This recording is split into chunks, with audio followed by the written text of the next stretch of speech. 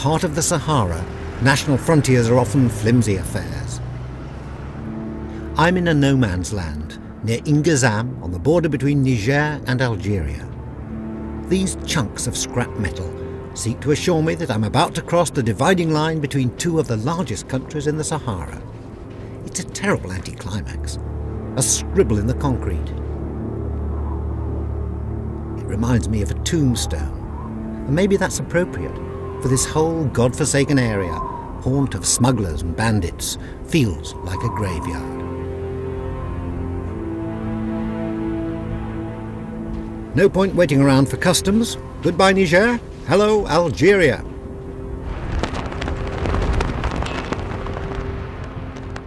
It's time to unwind and look around. Algeria, 10th largest country in the world, is 85% desert, dangerous desert.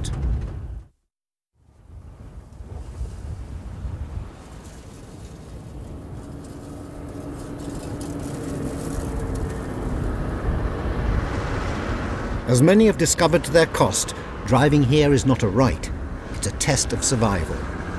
The soft sand is treacherous, the temperature's scorching, and failure can be fatal. The route from the Niger border up into Algeria is absolutely littered with the bleached carcasses of vehicles that set out to cross the Sahara and never made it. It's so bleak and pitiless here that uh, what might be a routine problem elsewhere, like running out of fuel or a mechanical problem, becomes a matter of life and death. This was the area where Mark Thatcher went missing. He was only discovered after an enormous rescue operation. And other people just weren't so lucky. Uh, they paid for their mistakes with their lives. The desert does weird things to your sense of reality. As we head north, the shady rocks and cool lakes on the horizon turn out to be mirages nothing more than a trick of the light.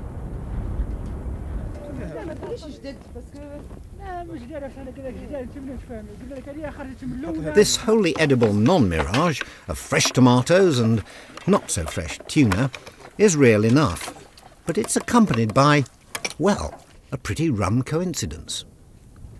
I'm writing up my diary, miles from anywhere, when I bump into the only other Englishman in southern Algeria. Or rather, he, poor man, bumps into us. The number plate is the first clue. The lone Mercedes belongs to Tom Sheppard, and no, it isn't a Mirage. Tom Sheppard is something of a legend out here. He's a 68 year old ex RAF test pilot who travels the desert, writing books, taking photos, and devoting much time and effort to getting away from people. Well, I'm on my own. Yeah, I've come come down really from the north of, of Algeria, from uh, from Tunisia, and I'm I'm you know going very carefully around the old old routes, the old French uh, tracks. When you when you're when you're travelling, you're, you're on your own. And What do you eat? What do you survive on? I had a, a, a birthday two days ago, and I had a really special meal on, on that one actually. Meat and two veg. Mm. Chilled grapefruit, for goodness sake, you know, with a, a, a damp kitchen towel uh, and the the dryness of the air makes evaporation and you get cool, cool grapefruit segments. So, you know, what more could you ask for a birthday? Does loneliness worry you? It's, I must say, it's been more lonely than I expected. You know, the last uh, session was about eight days uh, between, uh, you know, seeing one human being and seeing the next. Eight, eight days on the track. I didn't expect it to be that long. Does that, no that worry you? Uh, loneliness kind no, of? No, it's just so beautiful to be out there. You know, you get such a, a, lift from the from the countryside. Every morning you think, well, I've exhausted the pictures I can take, and then suddenly the next morning you think, look up, and you think, oh my God, look at that. And, and and so it goes, and that's what the desert has always been for me. You know, do you ever meet forty years of it now? Forty years. Yeah, You've been coming to this to the Sahara particularly. To the Sahara, yeah, one way or another. This is my actually my lucky thirteenth visit to Algeria. We're just going to have some um, having some lunch. Would you like to join us? well, it's very kind of you, way? but I, have got to be on my way now, actually. but just kind of. Good for Tom. Anyone who can be that busy in a place like this wins my respect. Maybe it was the tuna. As Tom hurries south, we head north into the weird and wonderful Hoggar Mountains, one of the most bizarre landscapes in the Sahara.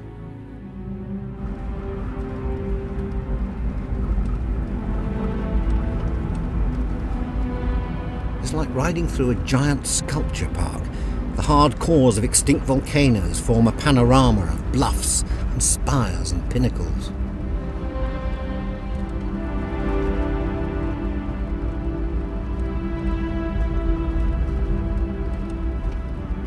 These are young peaks, their sides deeply scarred by the explosive force of their creation. The Tuareg call this land Atakor, like something out of Lord of the Rings.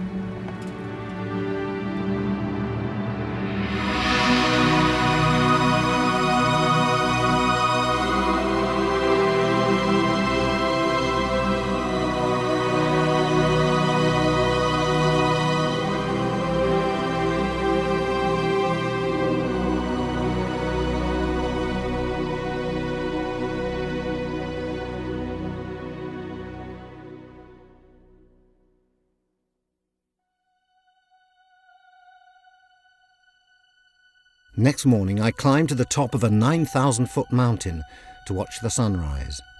Because of Algeria's 10 year civil war, the Hoggar Massif is rarely visited, which only increases the impact of its beauty.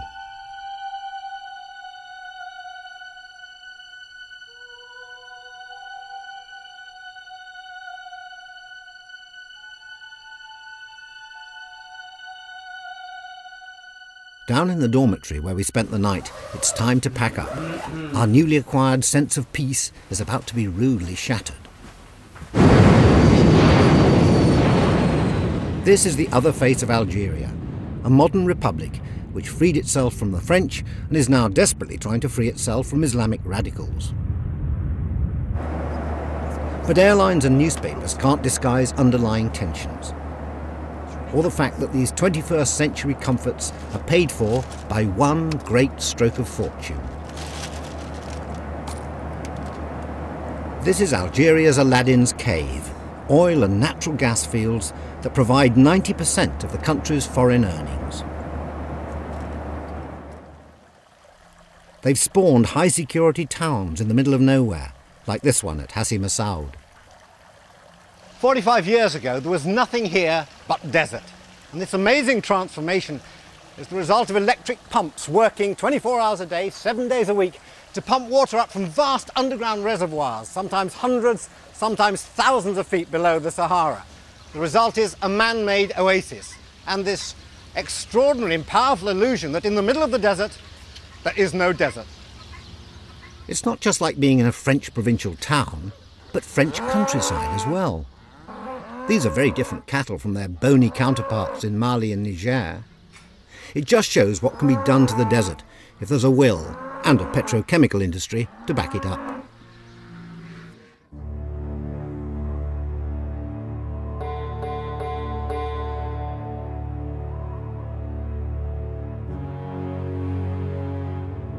A few miles from where they first discovered the oil that so changed Algeria's fortunes, there is another frontier.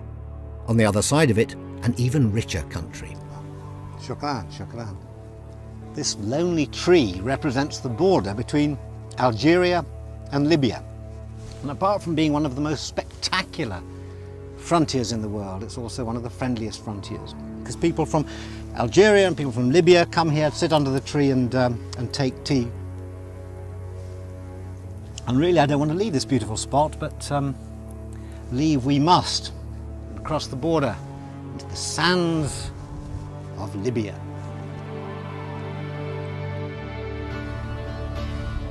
In Libya, like Algeria, the bulk of the population clings to the Mediterranean coast. It's been quite a coup to get permission to film here, and I'm not going to miss a minute of it. Well, maybe just a minute. This looks like being one of the longest bus rides of my life.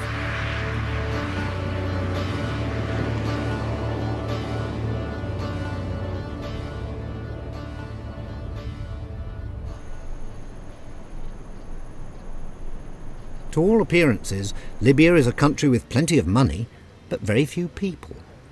Which is not surprising, as they have the world's third largest oil revenues to divide amongst a population less than that of London. In Benghazi, Libya's second city, you can see the layers of history. A mosque stands beside a palazzo built by Italian colonists, which now houses one of the committees which run the great socialist people's Libyan Arab Jamahiriya. It feels sleepy, but 60 years ago this coastline was one of the great Second World War battlefields.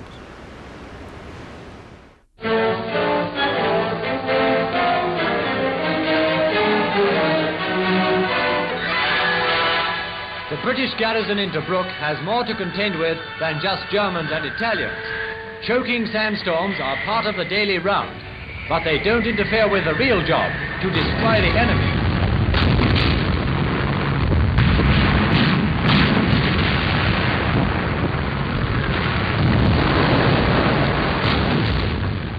Uh, it's the most tremendous battle. It was a, a real turning point.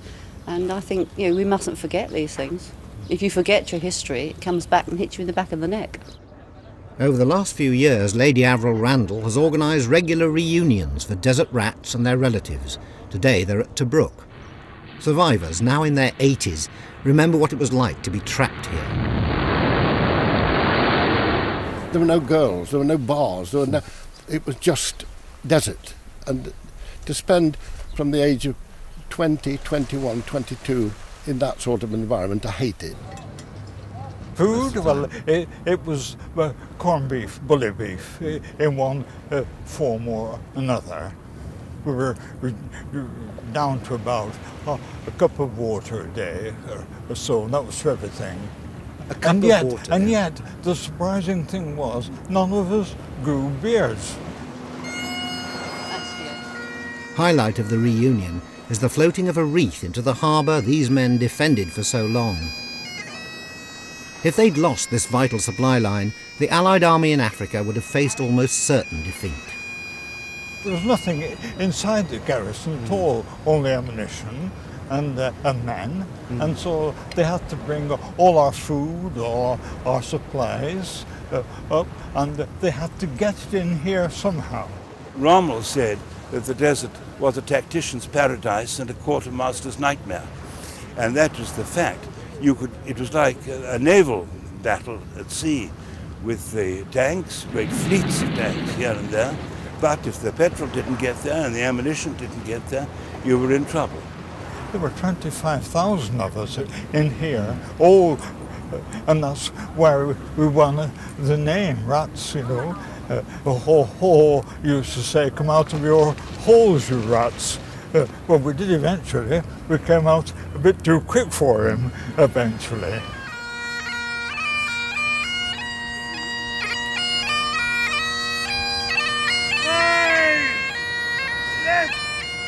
It's unlikely that any of these desert rats will see Tobruk again. It's a long way, and they're not getting any younger. Today is probably the last time they'll celebrate the efforts of all those who gave Hitler the first bloody nose of the war, and one from which he never recovered.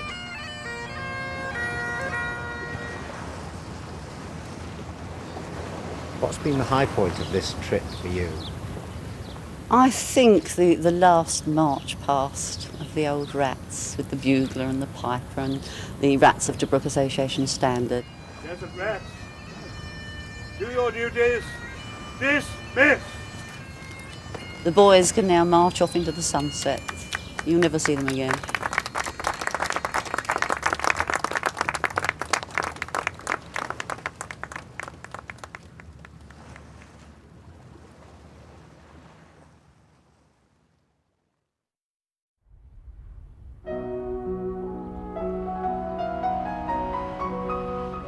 Modern Libya has often cut itself off from the West, but over 2,000 years ago it was an integral part of Europe. First the Greeks, then the Romans were drawn to this fertile land between the sea and the Sahara and built some of their grandest cities here. Cyrene was a bustling metropolis 500 years before Christ. It had its own port, Apollonia. Staggering sights these, but totally deserted. But then the modern towns are deserted as well. Is there some national emergency we've not been told about? Is it National Stay Indoors Day? Where are all the Libyans?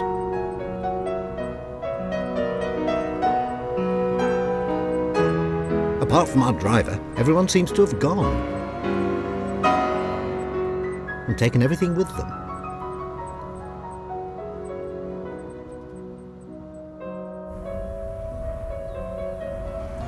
Picnic time, and despite the fact that uh, there are big cities, we've seen Tobruk and Benghazi, we're off to Tripoli, Libya is largely desert, so it's picnic time in the desert. Here's my packed lunch, it's enormous, and I can't actually tell what it is because uh, everything's in Arabic. Typical, all the signs uh, in Libya are in Arabic as well, despite the fact that a lot of people here speak English. So it could be lunch, it could be a very large hat, I suppose. It is lunch. There we go. Now, little well-sealed box here. Ah, something very typically Libyan. Got some cold chips. The shortage of water is clearly a problem for Libya, but Colonel Gaddafi has an impressive answer to it.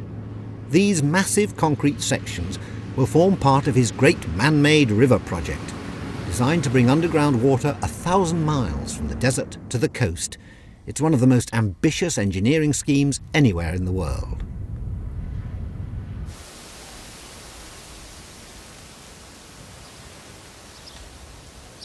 Seventeen hundred years ago, water was no problem. This land was known as the breadbasket of Rome, rich enough from exports of wheat and oil to boast the most magnificent city of North Africa, Leptis Magna. It still gives off a powerful sense of the brute strength of Rome. These halls were built by Septimius Severus, an African who became Roman emperor and died attending to business in the north of England. It wasn't just Septimius that ended up in England. In 1827, the ruler of Tripoli sent 35 columns and other assorted features as a present to King George IV. A bit of Leptis Magna can still be found off the A329 near Virginia Water.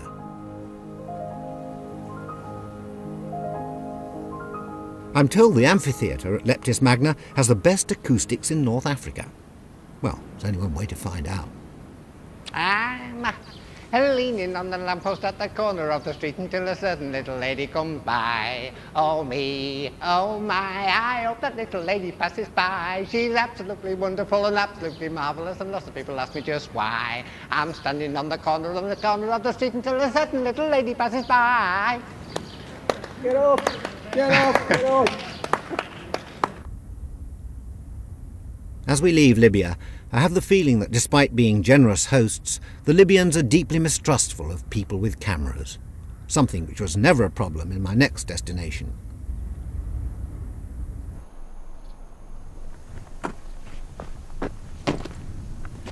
Less than 100 miles from the Libyan border, we're in this extraordinary arid, almost lunar landscape of southern Tunisia. Um, and it's so arid and uncongenial here that for the last 700 years people have been living in caves under the ground. And believe it or not, I do know this place. I was crucified here 23 years ago for the life of Brian. And I've always wanted to come back because it is so unforgettable, a place that remains in your mind. And I mean, there aren't many people who can say they've gone back to the place they were crucified. I'm going to see what it's like. The crosses are gone, but otherwise El Hadej hasn't changed much. It remains an underground town, and though the authorities are doing their best to move people from caves into houses, there are those who by tradition and inclination prefer to live and work below the surface.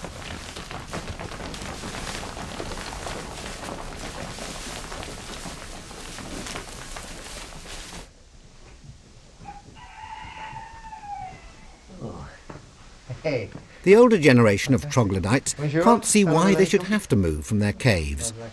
One answer is to cash in on the curiosity value and become hoteliers. Bonjour, bonjour. Bonjour. Bonjour. Bonjour. Michael. Beautiful. This is where you live, your house. Yes. Hmm. Nice and silent and cut off from the world. You have a room? Ah, yes. Okay, I see the room. Thank you. Ah. In here? Right. Ah, yeah, see, après.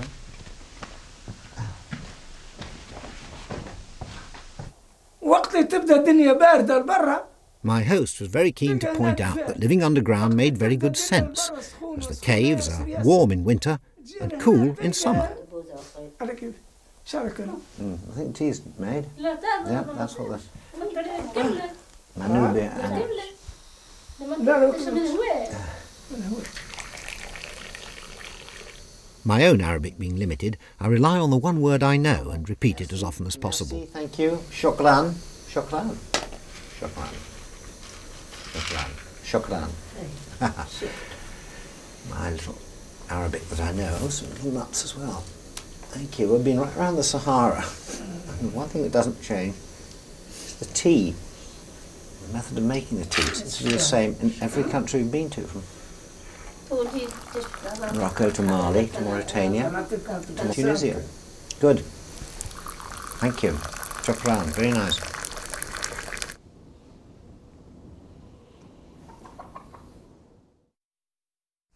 Cheer up, Brian. You know what they say? Some things in life are mad. They can really make you mad. Other things just make you swear and curse. when you're chewing on life's gristle, don't grumble, give a whistle. And this'll help things turn out for the best. And always look on the bright side of life. Always look on the light side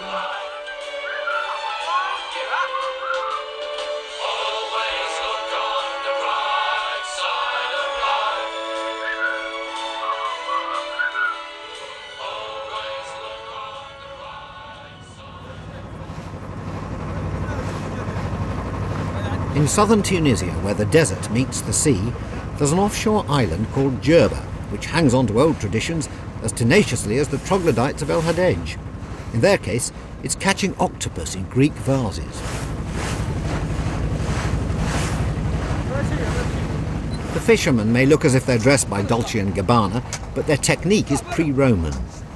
The pots are strung out on a line, and, unfailingly, between November and March every year, the octopus obligingly climb into them. Ah, you got one. Yes. We. Well, that's it. That's what it look like. Can we have a look?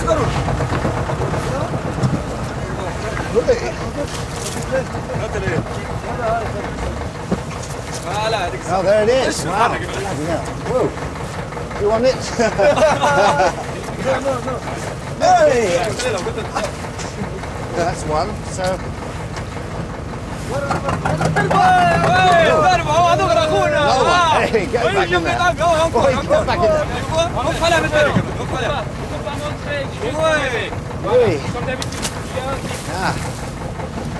They're all over the place. Okay, well, there's two. One's about to be crawling up your leg now, but uh, there's that one. Yeah, bang in. Wee. Thank you. There. I'm not much good at octopus wrangling, but I'm learning. In there. Really quick. Oh my God. Another. Oof.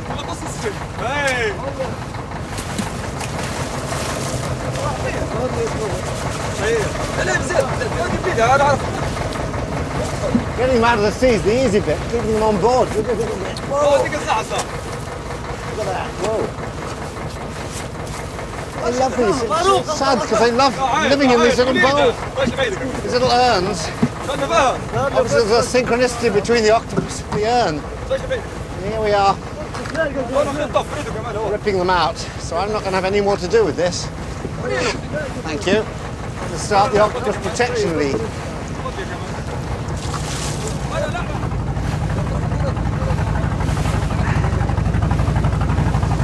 Jerba claims to be the island of the lotus eaters, to which Ulysses and his weary sailors came to be seduced by the narcotic delights of the lotus.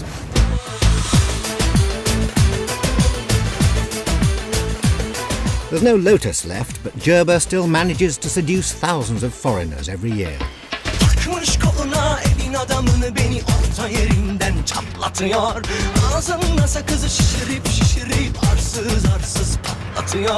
Biz böyle babamızdan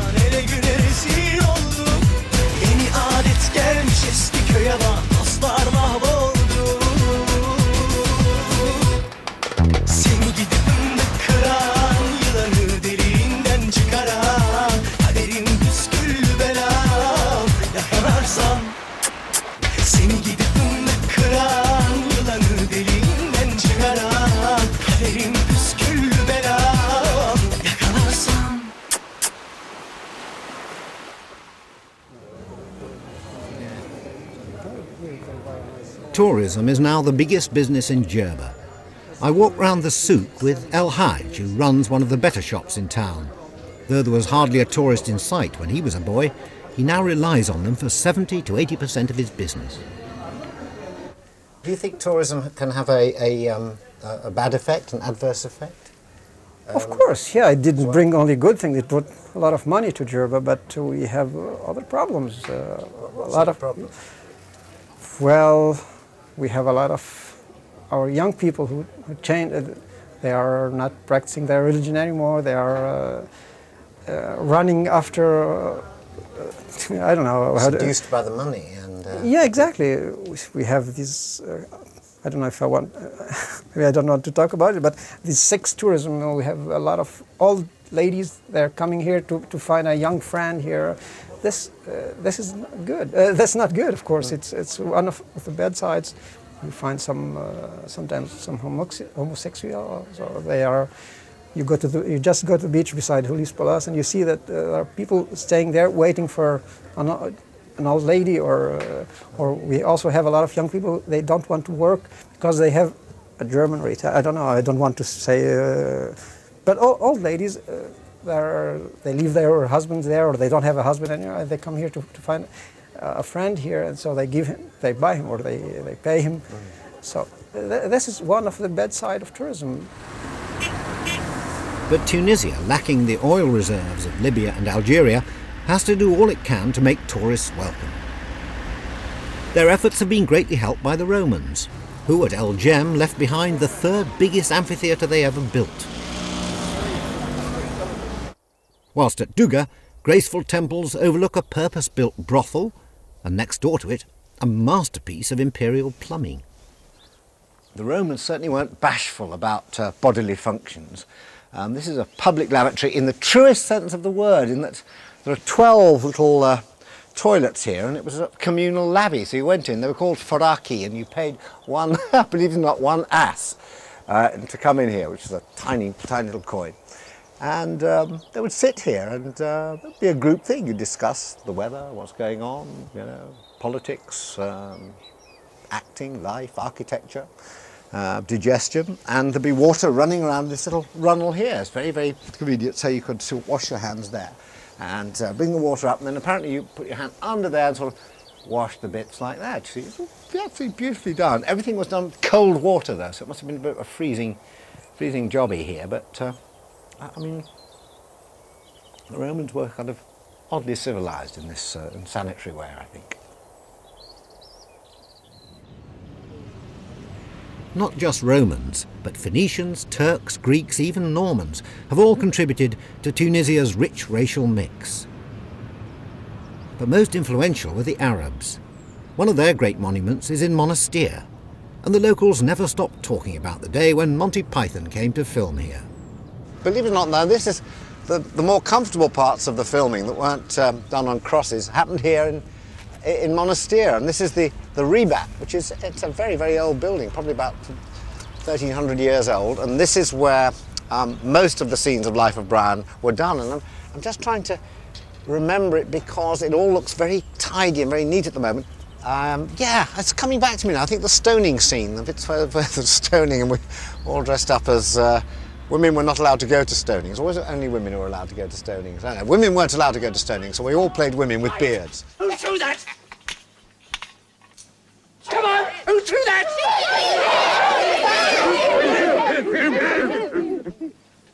Was it you? Yes. Right, well, you did say Jehovah. Now this does bring it back. The tower, Graham Chapman ran up, got to the top, the stairs ran out, and he's rescued, highly improbably by a flying saucer, and goes on.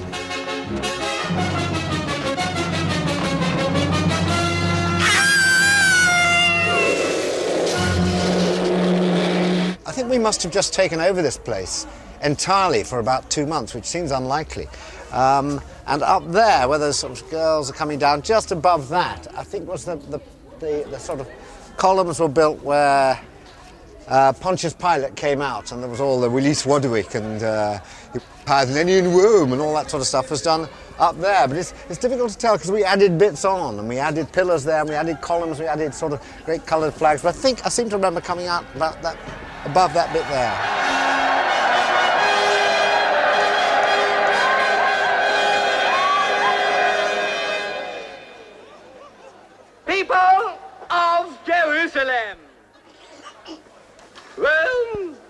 Is your friend.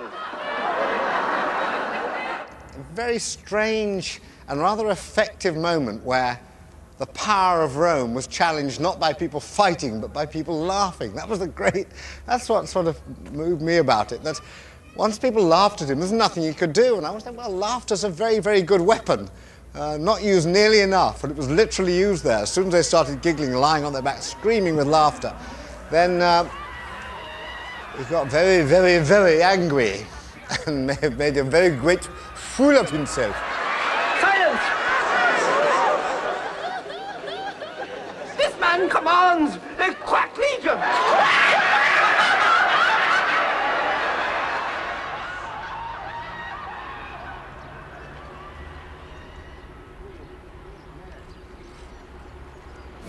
Along the coast from Monastir is the city of Sousse, in which Brian also came to life.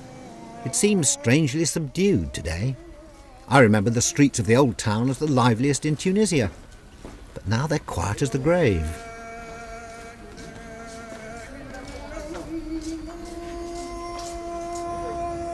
In the main square, they're already shutting up shop for the day.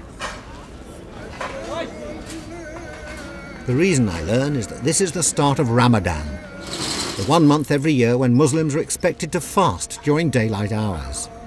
Candy stores do a roaring trade in anticipation of nighttime feasts. I've heard it said that some people actually put on weight during the month of fasting. Now I can understand why.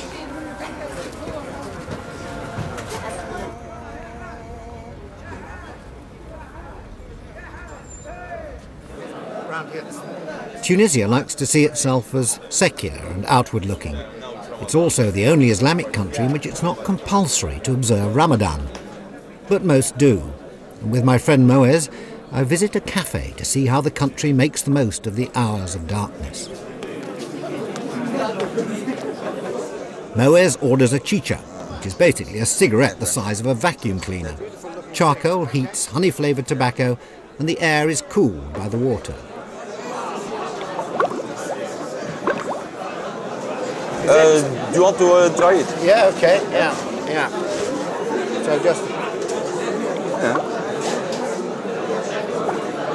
Yeah. Yeah, very nice. It's very relaxing, isn't it? Would you normally smoke this? Sometimes, yeah. Especially in uh, Ramadan, people after after eating and everything, they like to relax, to have a cup of tea, and to smoke tea shisha. Are you allowed to smoke at all during during Ramadan, during the day? No, nothing. N- nothing. No water, no smoking, nothing in your mouth. That's really that's No. very hard. Just air, you know. Yeah. What is the? What, I mean, what is the worst thing you know to, to be deprived of? Is it is it water? Is it food? Smoke? Uh, For me, it's water. For some people, it's it's uh, food. It depends, you know. Each person. Uh, some people it's smoking too. Huh? They- Yeah. It's the hardest thing for them is to stop smoking uh, for 12 hours. You know? Does it make people bad tempered? Yeah, some people are bad tempered, you know, but some people are uh, not. If they are a bad tempered, they are a bad tempered. In Ramadan or not, it's not Ramadan. But some people they find it easy. They say, ah, I am a bad temper because it's Ramadan. But it's not. some people they are It's my it excuse, as, yeah. as an, um, as an excuse.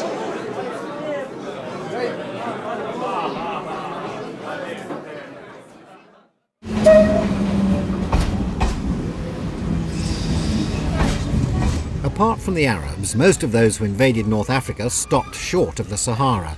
The Romans never crossed it, and one of the most famous occupying empires looked only towards the sea.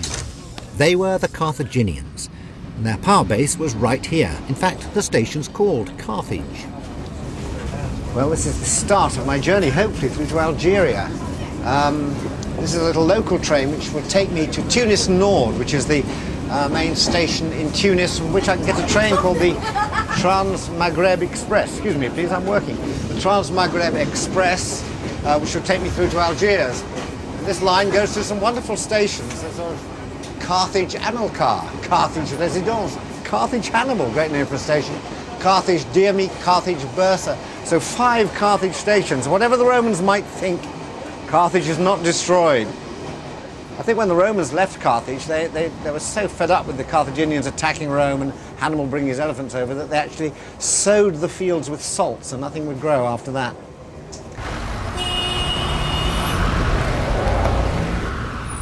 From the main station in Tunis, it looks easy enough to continue my journey across North Africa aboard the Trans Maghreb Express.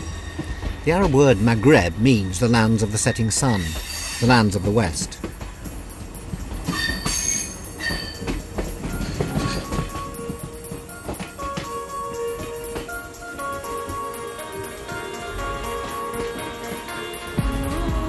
There are problems ahead. Tunisia, the country I'm leaving, is international, outward looking, and relatively stable. Algeria, the country I'm going to, has been caught in a spiral of violence since 1992. Foreign Office advice is unequivocal. Security situation remains serious. We advise against all holiday and non-essential travel to Algeria.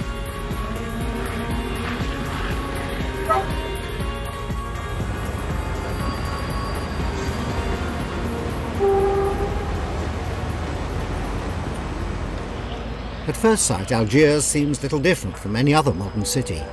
The trains seem to be running on time, there are no porters at the station, and my hotel, the Al Jazeera, is rather grand. It was formerly called the St George and was built in the 1880s to accommodate all those fashionable Victorians who flocked to Algiers to benefit from the healthy climate. No one flocks to Algiers anymore, and I can't even leave the hotel without a bodyguard. Beyond the hotel, uh, we will be required to uh, travel around Algiers with a team of the Service This is Eamon, and he's an ex-Marine commando. The reason that we need this uh, security in place is that since 1992, uh, foreigners in Algeria have been under fatwa by certain extreme Islamic groups. And in- Fatwa, I'm not sort of same as in the Salman Rushdie Salman case. Rushdie, Yeah. yes, the satanic verses, yeah. And um, the result is that over 100 foreigners have been killed in Algeria since that time. I've travelled quite a bit, and as far as I know, no one's ever tried to kill me. I ask Eamon if this is all strictly necessary. Well, it is. You're a public figure with a high profile, and frankly, if I lose you, I lose my job. Well, hopefully it won't be a problem.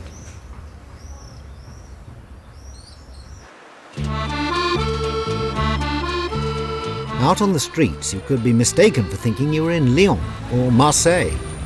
For a hundred years, the French treated Algeria not as a colony, but as a part of France itself. As a result, the independence movement was resisted more fiercely here than anywhere in North Africa.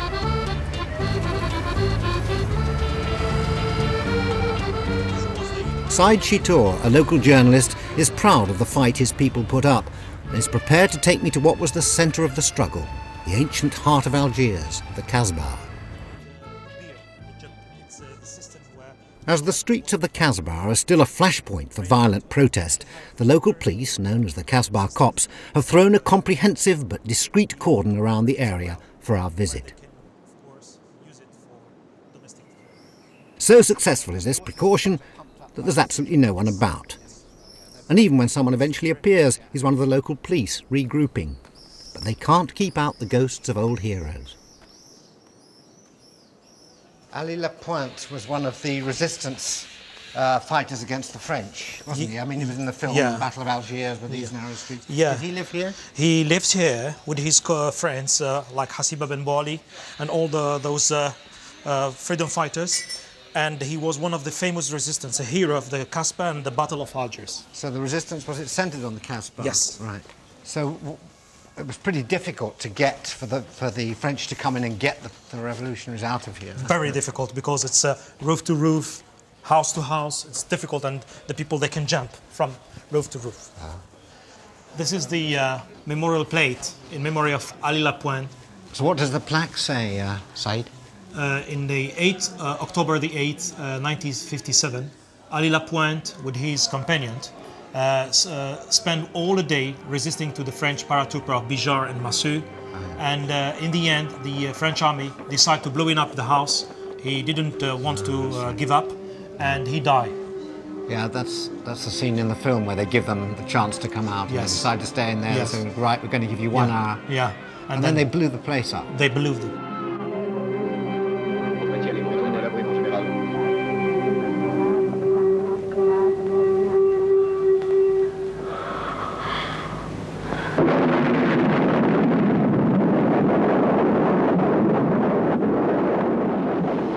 Ali Lapointe and, these people achieved? freedom, independence for, for us, for the generation who are coming after 1962.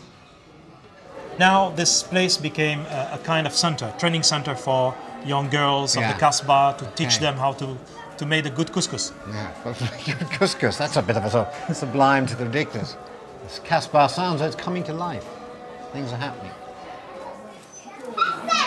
I begin to forget security and enjoy myself. There's lots of character to these claustrophobic alleyways. It's a funny girl. Yeah, Said shows me some of the Casbah's hidden gems, like the mosque of Sidi Abdel Rahman. Let's go in here. It's quite. He was a 15th century holy man and patron saint of the city. A visit to his tomb is said to be particularly effective for women.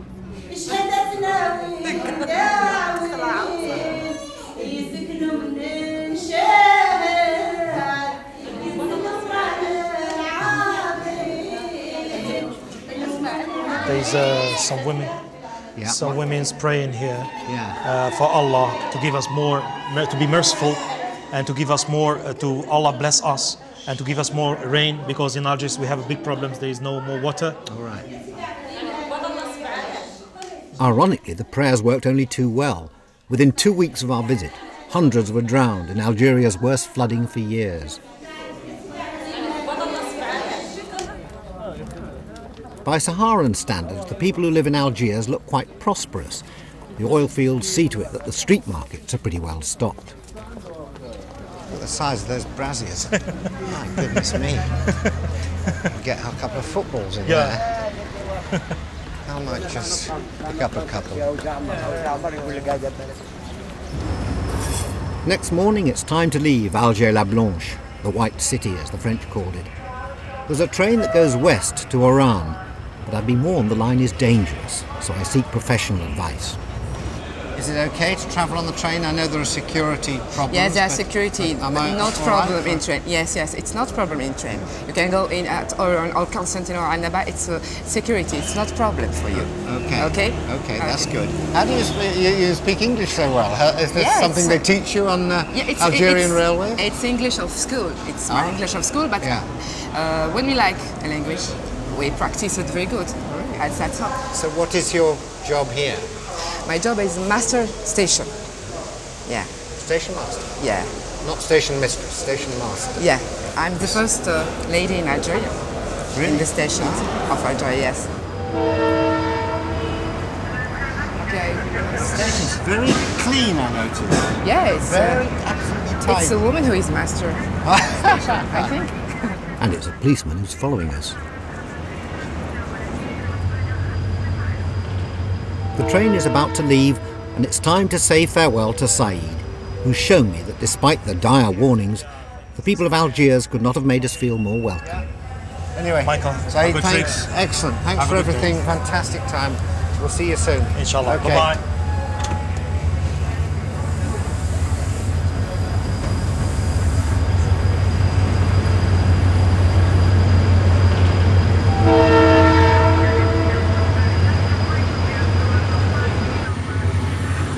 As we pull out, everything looks normal enough. But in Algeria, it's never wise to be complacent. The Algiers Oran line does have a history, and I'm certainly not allowed to ride it unprotected.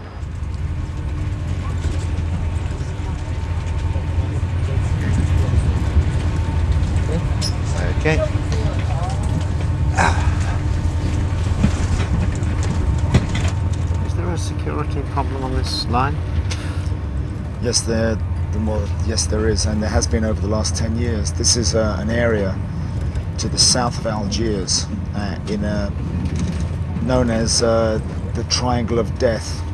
We're approaching Blida, and uh, this has been the most bombed uh, railway line in the world in the you know over the last uh, 10 years. What sort of form does that take? Do people attack the train, ambush? What, yeah, what- the, what the train. on? This train here has been bombed. Uh, it, it has been stopped by people coming onto the train and pulling the communication cord, which is why you won't find a communication cord on this train at the moment. Really, they, And- they yeah. took them out because uh, what, what, what, what, was, what was the problem? People were Well, yeah, you'd, you'd get um, Confederates of the, uh, you know, of terrorist groups who'd come onto the train masquerading as uh, as passengers. They'd pull the communication cord at a certain moment. The train would stop, and the uh, terrorists would come onto the train and, uh, you know, commit acts of, uh, of Yeah. cruelty and, and barbarism. what they take take people uh, take people's lives. Yes, they the would. Yeah, yeah, yeah. In in uh, awful circumstances that we really don't want to go into.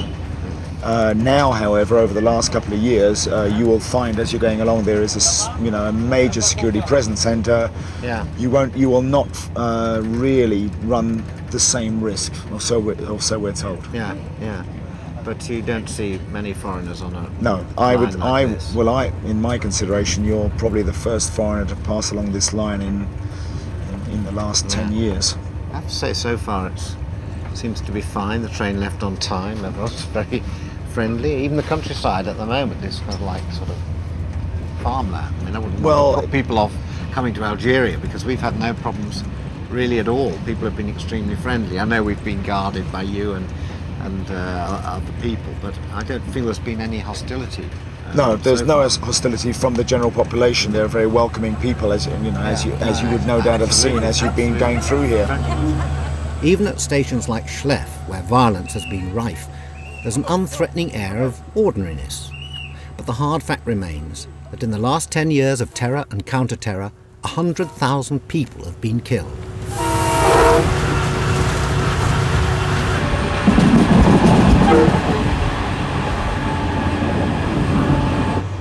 One thing you won't actually be able to see um, on our journey is the presence of the armed guards. We have quite a heavy security presence, uh, both from Algiers and then uh, a town called Chlef, where we stopped. And they changed the guard round, and 18 members of the Gendarmerie Nationale, armed with AK-47s, came aboard to look after us. So uh, they obviously don't want to be filmed. It's dangerous for them. But uh, the train is actually bristling with guards looking after us.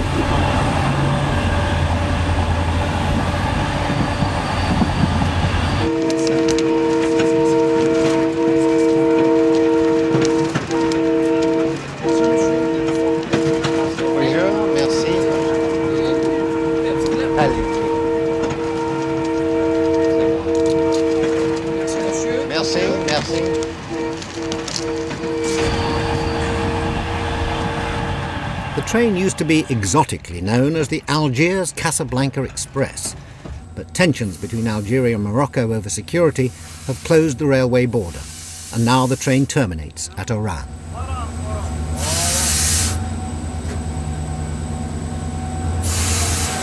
The army can go home now, on someone else's responsibility.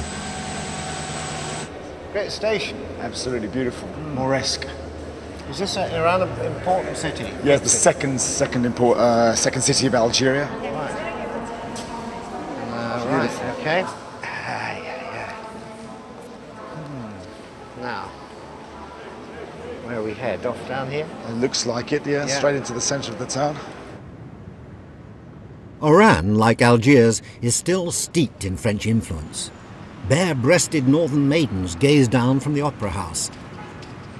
Sharing the square with a carved likeness of Arab nationalist hero Abdul Qadir. The confusion reflects my own feelings as I near the end of the journey. This is the last big city on my journey, and you can't get much further west in Algeria than this. So I've now got to think hard about how I'm going to get back home.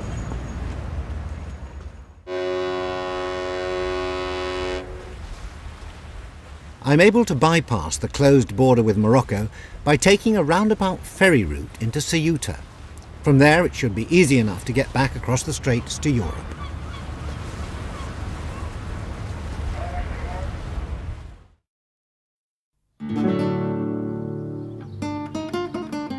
Ceuta is a curiosity. It's a slice of Spanish territory clinging to the coast of Africa. It's surrounded by Morocco, and in the same way that the Spanish want Gibraltar, the Moroccans would rather like Ceuta. But there's no sign of Spain parting with it. Indeed, this lovingly preserved monument in the Plaza Africa commemorates a Spanish invasion of Morocco.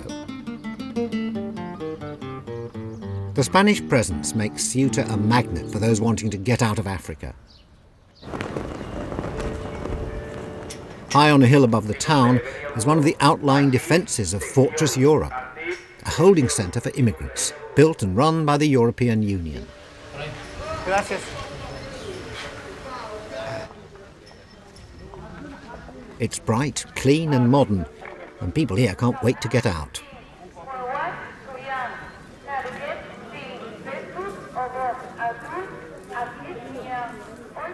There are nearly 400 men, women and children in the centre, but only 45 applications have been processed in the last six months. The inmates are restless, some are desperate, but they're not giving up, not after the risks they've taken to get this far. And where, do you, where, where have you come from? You've come from... From Nigeria. Yeah. yeah. And how did you get here?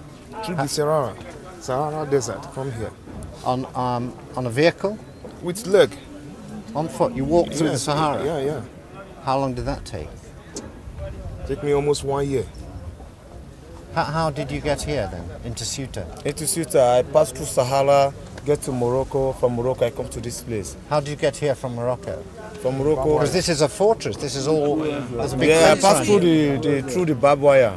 Through the, Did you? uh, the, bar, the barbed wire. Yeah. With a flyer, with a, a fishing boat. I came by the boat. Came by boat Yeah. out into the sea, and that brings you up onto the shore here. Yeah. Did you have to pay somebody a lot of money to get here? Yeah, but the boat will pay about 1,500 to reach here. Five, one thousand five hundred $500, dollars, Yeah. U.S. dollars. Yeah. At the narrowest point of the Straits of Gibraltar, only nine miles separate these people from their goal. I'm lucky. I can cross the straits in an hour on a scheduled ferry in broad daylight. But thousands of Africans will pay good money to be brought over in unsuitable boats at dead of night. Belinda Braithwaite, who has a house close to where they land, knows only too well that many will never reach the beaches of Europe alive. They tend to come across when it's very, very calm in the middle of the night, but with the straits, you can suddenly get a squall in the middle of the night and, and they're halfway across and they've got too many people in the boat. None of them can swim. Um, and they don't have any life jackets, so the boat capsizes and so they, poor You things get, are thrown um, into the sea.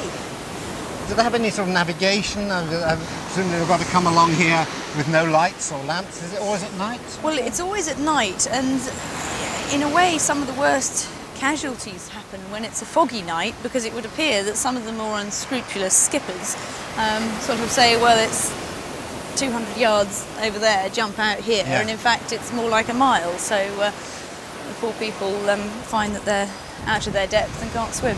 But uh, you know, There's imagine if you're a pregnant woman thrown over the side of a boat, you don't stand a chance. So, and when, worse. they, when they do get ashore, I mean, this is what the, the, the boat here sort of Well- obviously been re- pulled up against the rocks. There's great holes in it.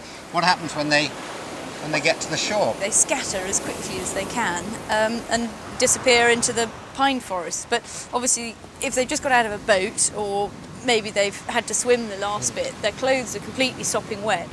So they tend to bring with them, uh, well, there you are, look, a little um, What, is that something from? Uh, off, well, I off think it looks remarkably like it's been sort of bound up to keep it Yeah. waterproof. Um, and they would then keep some dry clothes in there. Yeah. And you see, like here, you've got the fellow's Oh clothes that he's actually taken off.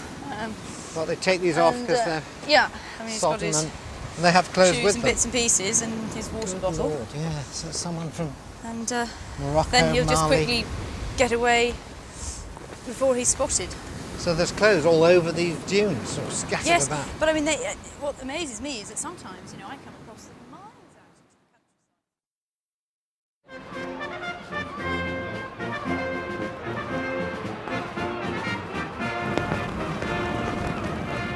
When at last I reach Gibraltar, the flags are flying and the day trippers are filling the streets. But there's something different in the air. A smell of betrayal. Your Excellency, may I have your leave to secure the fortress, sir?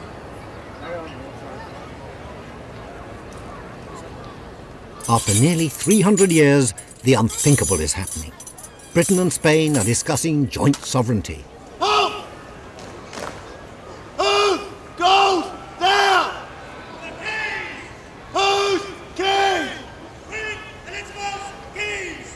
Advance, Queen Elizabeth King! All world! The ceremony of the keys dates back to the days when the gates of the citadel were locked every night. Your Excellency, the fortress is secure and all's well, sir. But how secure is the fortress? Night, Suddenly, this harmless ceremony seems loaded with significance. It's more than just an entertainment. Will the gates of Gibraltar have to be locked again?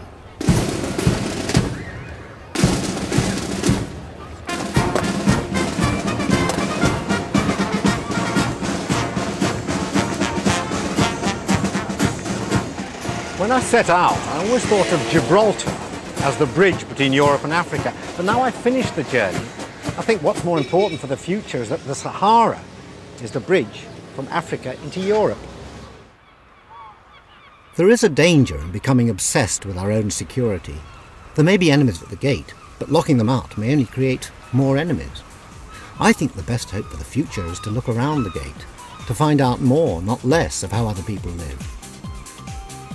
After all, this time a year ago, I thought the Sahara was empty.